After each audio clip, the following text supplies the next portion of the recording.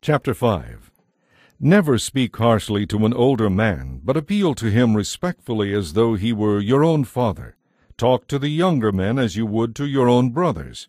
Treat the older women as you would your mother, and treat the younger women with all purity as your own sisters. The church should care for any widow who has no one else to care for her. But if she has children or grandchildren, their first responsibility is to show godliness at home and repay their parents by taking care of them. This is something that pleases God very much.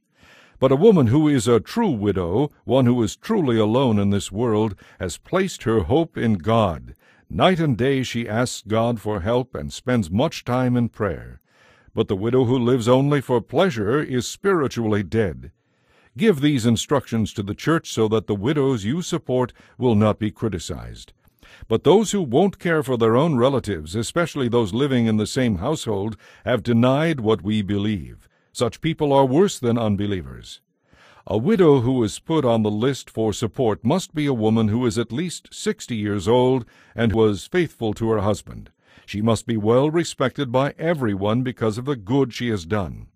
Has she brought up her children well? Has she been kind to strangers? Has she served other Christians humbly? Has she helped those who are in trouble? Has she always been ready to do good? The younger widows should not be on the list because their physical desires will overpower their devotion to Christ and they will want to remarry. Then they would be guilty of breaking their previous pledge. Besides, they are likely to become lazy and spend their time gossiping from house to house, getting into other people's business and saying things they shouldn't. So I advise these younger widows to marry again, have children, and take care of their own homes. Then the enemy will not be able to say anything against them. For I am afraid that some of them have already gone astray and now follow Satan.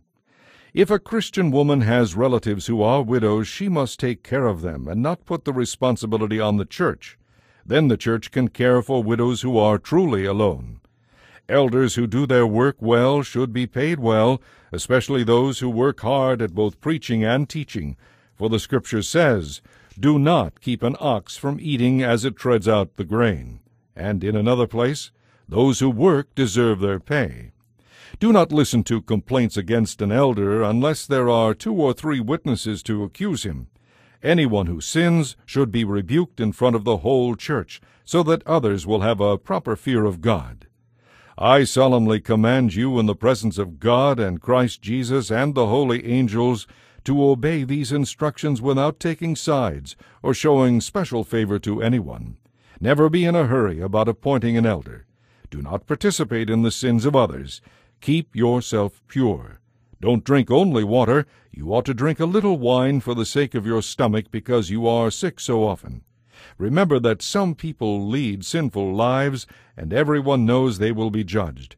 But there are others whose sin will not be revealed until later. In the same way, everyone knows how much good some people do, but there are others whose good deeds won't be known until later.